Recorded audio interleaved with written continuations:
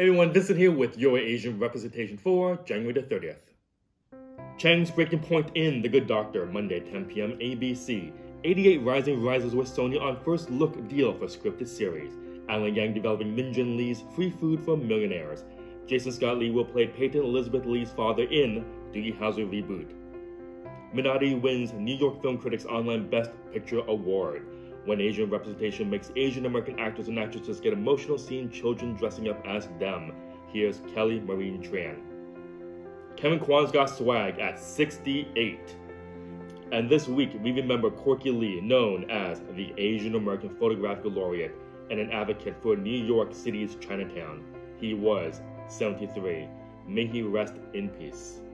Asian representation, like it, support it, live it.